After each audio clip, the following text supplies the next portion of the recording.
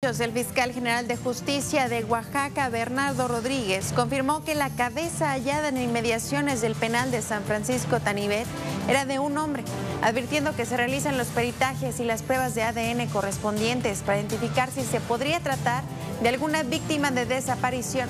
Afirmó que continúan las indagatorias con respecto al caso y adelantó que también se ha logrado establecer con claridad que el asesinato de la víctima ocurrió en otro lugar y solo el miembro superior de una persona de la cabeza fue arrojada por desconocidos en la cercanía de la cárcel. Hasta la fecha, bueno, tenemos fe que es una eh, eh, miembro superior de, un ser, una persona, ¿no? Es una cabeza.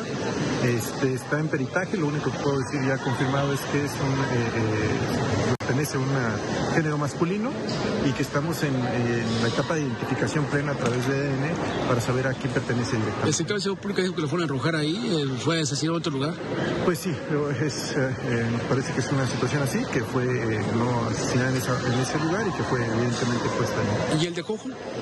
El de Cojo estamos también definiendo eso, ¿no? Estamos eh, tratando vía genética definir si esa cabeza corresponde a ese cuerpo que encontramos en... ¿Tiene que ver con los desaparecidos o tiene que ver con otro tipo de situación fuera del Estado dentro de la capital? Pues mira, es parte, yo creo, de los procesos que están llevando a cabo en la capital.